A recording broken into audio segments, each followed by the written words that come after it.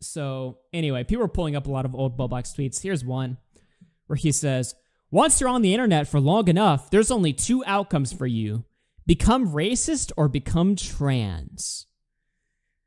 I picked racism, just to be clear here. Uh, but this tweet is actually really true. Uh, that is like the path that seems like everybody fucking takes.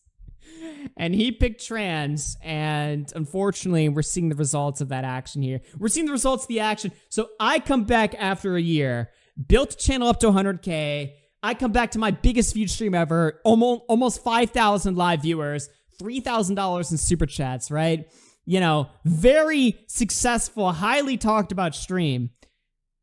Bowblax picks the trans route, and all of a sudden, seemingly for no reason at all, his career has collapsed. His reputation has fallen.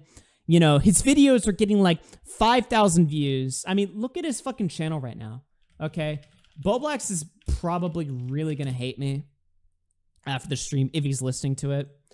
But these are words that he really needs to hear. Okay. What the fuck are we doing with these last three uploads?